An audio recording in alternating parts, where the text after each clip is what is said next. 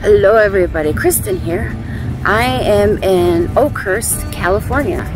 So, right in front of right in front of this 21st century, there is this bear. Now, this bear isn't just any old bear.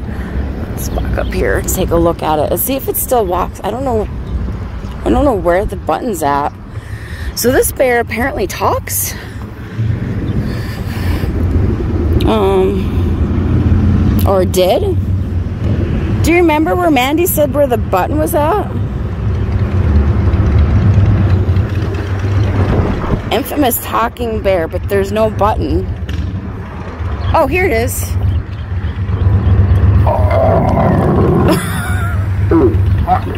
I'm the California Grizzly Bear. Before you leave, visit our office to at the Bear of the Month drawing for my cute cousin there in the window, selected from the Country Peddler collection. While you walk around me, let me tell you something about my past and what made the California Grizzly unique.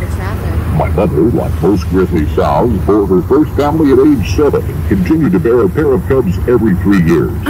I was born hairless, blind, only nine inches long and weighed less than a pound. Oh, you can't hear it now. My mother's milk was five times richer than high-quality cow's milk, so after about 90 days, I weighed almost seven pounds and emerged from the den for the first time about the size of a rabbit.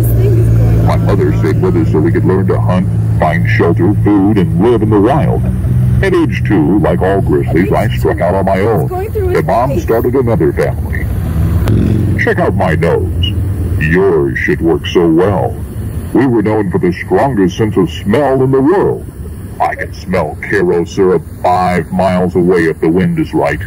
The Indians used to say when a young man had the eye of an eagle, the ears of a deer, and the nose of a grizzly, he then was a brave. My hearing is better than yours too, but I don't see so well. That's why I'll attack anything if I'm surprised. I'm also attacked if you disturb my dinner. This thing just keeps going will come to on attack if she senses and on. Grizzlies run from nothing. Just telling you about grizzly facts. Utilize the nutrition from our fat and even remanufactured all waste byproducts internally and recycle them. Well, I would be here all day listening to this thing, but I do know that at one point it goes roar. This guy says roar. This is so long. Left out ways to tell about myself. If you would like some free information on California grizzlies, come into the office and ask for the bare facts. I hope to see you again. It didn't go roar.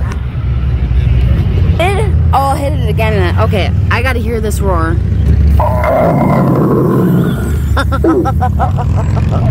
okay, so this has been the the speaking bear. Let me get a photo.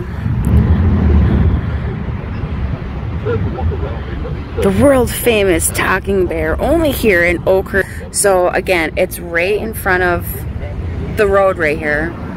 Um, what I had seen online was that they got, they said that it's loud enough so you can hear it over the traffic. Milk was five times Um, richer than high quality Now that there cow's isn't motorcyclists going by, you can definitely hear it. That emerged from the den for the first That's time about the hilarious. size of a rabbit.